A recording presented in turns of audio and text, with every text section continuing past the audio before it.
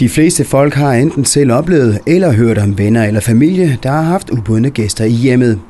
45.000 indbrud sker der årligt på landsplan, og især i denne måned vil mange komme hjem til et gennemrodet hus eller lejlighed.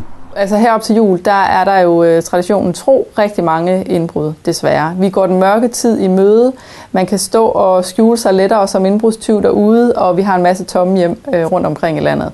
Så det er, det er tiden, hvor der bliver begået mange indbrud, og når vi tager på ferie, så er det også der, at vi som borgere tænker, kan jeg gøre et eller andet? Er der noget, jeg kan gøre for, at mit hjem, jeg ikke kommer hjem til et, øh, et hus, der har været indbrud i?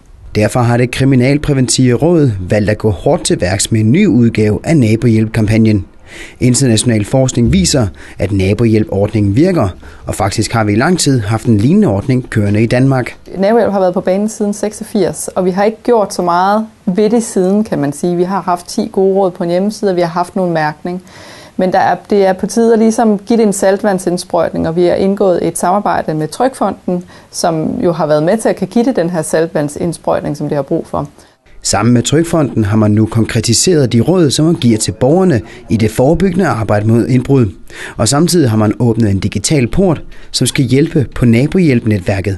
Det vi så kan inde i det her system, det er, at vi kan dele ferieoplysninger. Et lille trygt netværk, jeg har inviteret dem ind, jeg har tillid til.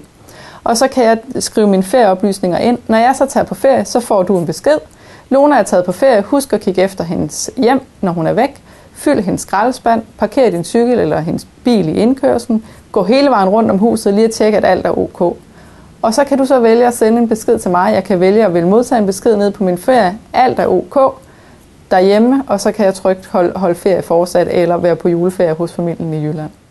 Den nye digitale del af Nabohjælp skal også være med til at give kampagnen et længere liv end blot julemåneden ud. Vi skal være generelt opmærksom også. Og det er det, vi gerne vil med det digitale øh, system. Det er simpelthen at understøtte og vedligeholde nabohjælpen derude. Fordi det er jo tit, vi har lige haft indbrud, jamen så nabohjælper vi. Og så dør det lidt. Men vi skal, det skal være synligt hele året, og det skal være en måde, vi, vi handler på der, hvor vi bor. Og kigge lidt ud i vores nærområde og være generelt opmærksomme.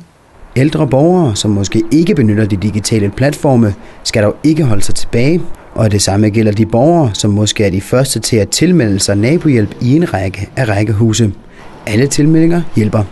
Men det gør det bestemt. Altså, og det, vi skal, det, man skal tænke på, det er, at ja, øh, enten skal man have en mobil eller en e-mail for at tilmelde sig det her. Langt de fleste ældre har faktisk også en mobil, og vi har en hotline, man kan ringe ind, så vi hjælper gerne borgerne i gang.